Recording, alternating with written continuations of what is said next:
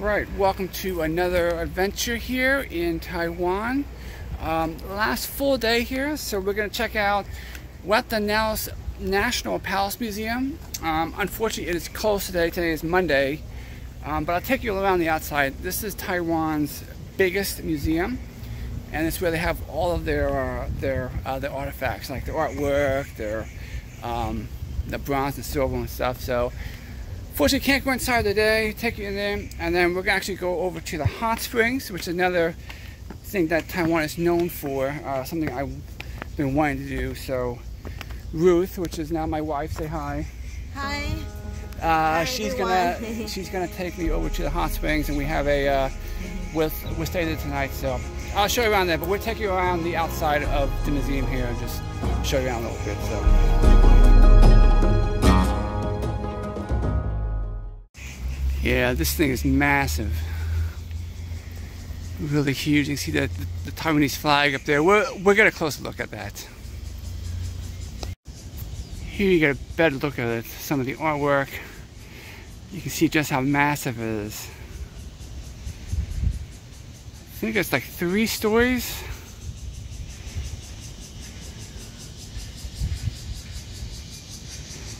It goes on this way too. See, it's more down here. That's all part of the uh, museum. So it's just a massive, massive complex. But unfortunately, they are not open today. Um, but this is uh, uh, where Taiwan keeps all, like it's all the treasures, all the artwork and the sculpt sculptors and all their artifacts that were found from uh, the natives. So we'll walk around a little bit more. Not sure there's too much else to see, but Alright, so there is the Taiwanese flag flying in the wind here. So the meaning of that, so the red is abs uh, is for the uh, the uh, the blood that was shed here during the uh, Chinese Civil War. Um, I learned about that in school. Um, that has how Taiwan was founded. So that's what the red means. The blue is for justice because they got justice. And something I didn't know, the star, the white star up there, is uh, comes from the Bible, the, uh, the Star of David, because the founder, uh, because the the original people from Taiwan were Christian. Um, Taiwan is not a Christian country now, but the original founder was Christian, so that's where the white star comes from, the, the 12 points of David. So you have justice, uh, blood, and uh, the Christian Star of David. So that's the meaning of the Taiwanese flag.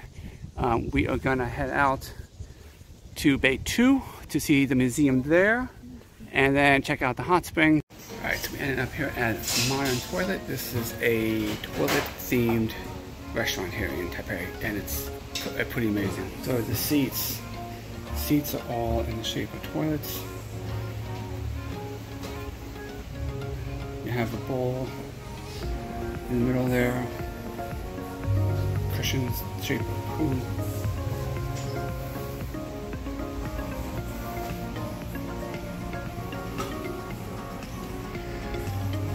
These, are tables, nice tiled, and some rubber duckies.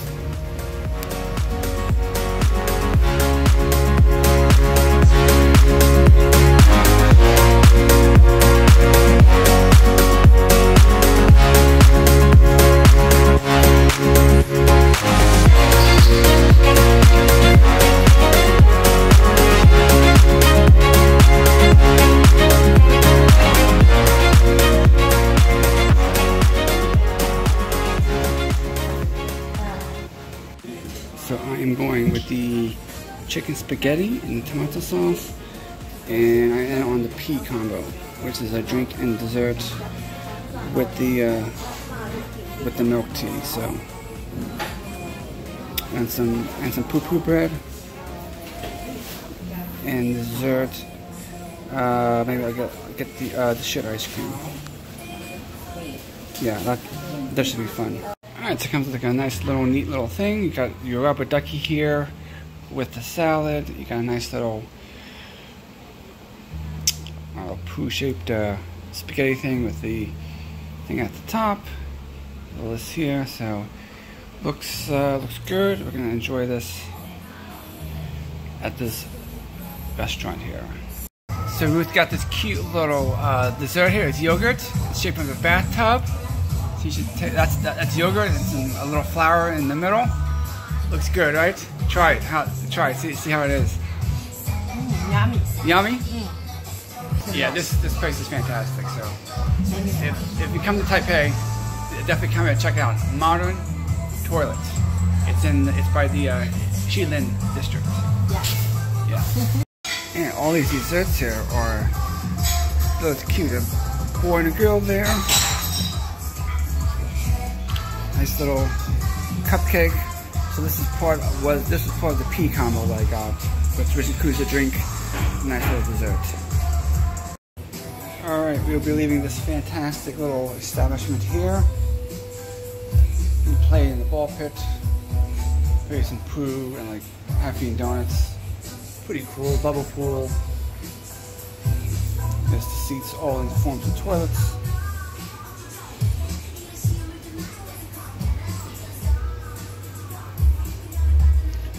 The, the napkins are toilet paper rolls for your, uh, yeah, pretty, uh, pretty fun place to go if you're looking for something uh, different in Taipei. Check this out. It's over by the Shilin. It's right outside the, the night market. Alright, so I was told I have to see this inside the bathroom, so let's go check this out before we head out. Ha that is pretty fantastic. Turn the water on.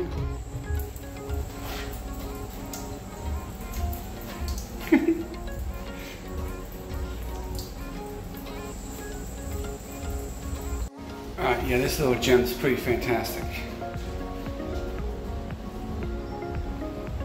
That is the sink that you're washing in.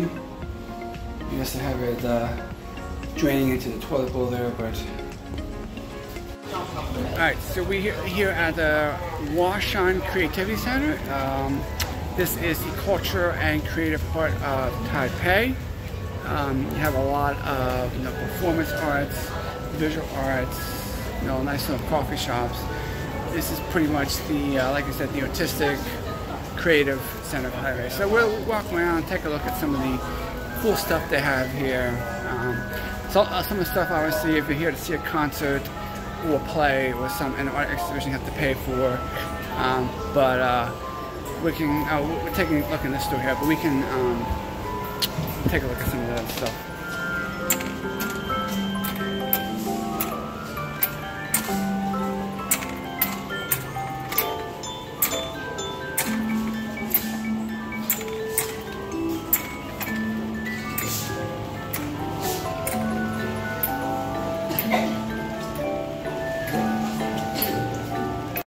These are DIY music boxes. So they have all these different um, stuff up here, different objects, and you can make your own music box. So if you have the creative juices, you can come in here and make a nice music box like this. You can make it, make it your own, you know, nice little art project.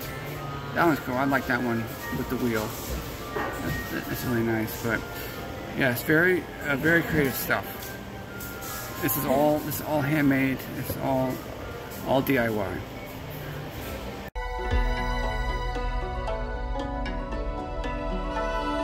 Alright, so this actually dates back to 1914 when Taiwan was occupied by Japan.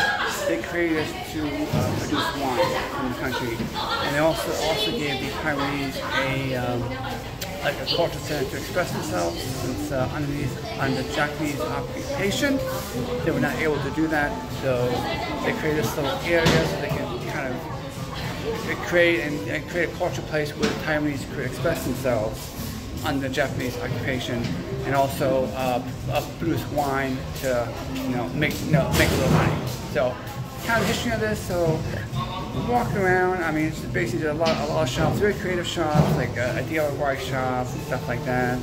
Um, like like like art, artsy stuff. So if you're into the art and expressing yourself and creativity, this is the place you want to go. Um, like a, a, a nice little wine wine shops and like little coffee shops in here. So nice, nice little chill place to come. So we'll walk around for a little bit more and then we'll head over to the hot springs uh, in a little while.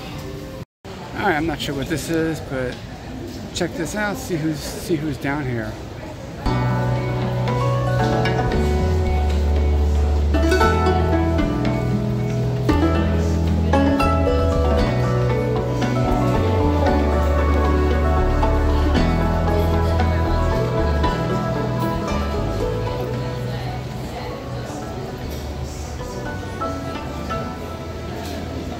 Oh yeah, so there is a film festival going on here. This is the World Ethnic film festival. So um, yeah, so these are uh, new release films similar to uh, you know Cannes and Sundance. We can come here and watch some uh, um, new uh, new release films that may be in theaters close by. So yeah, that's uh, pretty, uh, pretty. So today is actually the 18th.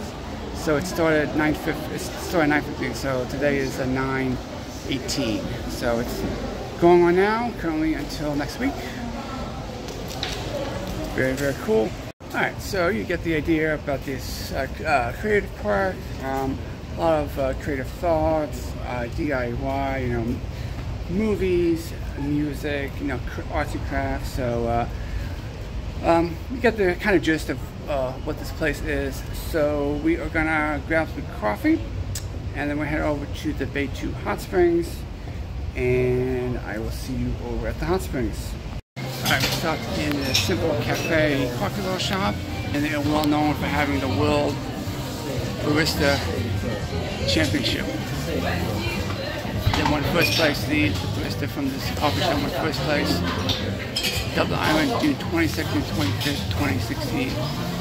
Um, one our taxi driver was saying, smells good, um, smells good, but um, taste is just okay. So um, we're gonna take a little taste of that, and then we're head to the hot. All right, so this is, these are public spring pool. Great little view out there of the sunset going down. It's absolutely beautiful. Got a nice view of the mountains up that way. Water here. Oh yeah, that is warm. We're gonna we're gonna enjoy that. So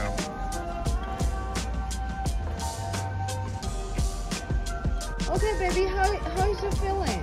Uh, the water is definitely warm. Uh, takes some getting used to, but definitely feels good after a nice long day and um, a, a, a hectic week. Um, feels good to just relax a little bit and Yeah, take it in. It's a beautiful location yeah, in the mountains and Yeah. with, with, the sunset going down. yeah, Definitely beautiful. yeah. Because the weather is so hot, so it's not time to take hot spring. But usually people, when they left the world after vacations, they will take a few hours hot spring for circulation. Yeah, this is the off season. Um, normally people come here during the winter time. This is September, late, late September. Still very humid here in, in Taiwan, so um, it's definitely uh, this will definitely hit the spot in uh, in, uh, in in the winter for sure.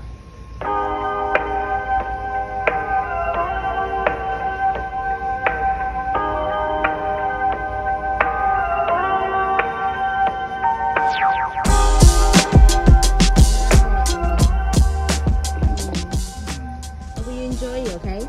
Yes. All right, so we got done at the hot springs inside. Um, it's all natural hot springs. So, so you can rent those out for, for one to six hours, or there is a hotel here. Uh, you can stay at the hotel and you can spend as much time as you want there. So that's what we did. We had one night. Um, there's also a thermal field, which we'll check out tomorrow. I'll probably put that at the end of this video. Um, and then, um, yeah, um, those hot springs, it's, um, there's three different pools. The, the first pool was very hot, it was like 55 de- degrees Celsius. I'll put the Fahrenheit score down here. And then the second pool, which was the best, it's more like your typical spa, very warm, uh, probably like 90 to 100 degrees. And then the last one was a bit cooler than that. So pretty fun. They actually deliver breakfast to you. Um, so that's included with your hotel. And I'll show you the rooms. Each of the rooms also has a separate hot springs. All natural. It's piped right from below. This area of Taiwan is very, um, has a lot of thermal energy, much like much like Yellowstone, some geothermal features, and they've turned it into resorts and different stuff like that. So I'll give you a quick tour of a room, and then um, tomorrow I'll show you the thermal fields before we head to the airport. So um, yeah, stay tuned for that.